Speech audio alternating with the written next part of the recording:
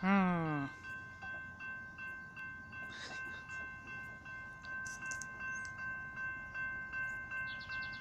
Hmm. Southbound train coming. That's a freight train.